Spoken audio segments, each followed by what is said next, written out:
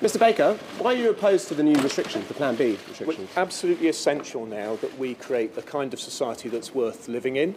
I'm determined that that does not mean living under minute and frequently changing rules, and that's why I'll be voting against extending mask mandates, I'll be voting against vaccine passports, and I'll be voting against mandatory vaccination as a condition of employment in the NHS. But are you worried, not worried about the data from the London School of Hygiene and Tropical Medicine saying that we could see tens of thousands of deaths if we don't have these restrictions? Well, let's be really clear what they've published. They've published modelling, and I've had a lot to say about the models. Unfortunately, they're very often based on assumptions which are wrong and pessimistic.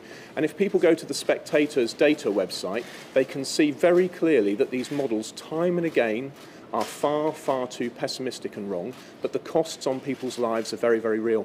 What's your concern? Is that Plan B is only the start? There could be future lockdowns? Well, we're already seeing that rumour, and this happens time and again. We get drawn into these things bit by bit with shifting goalposts, and that just won't do for the British people.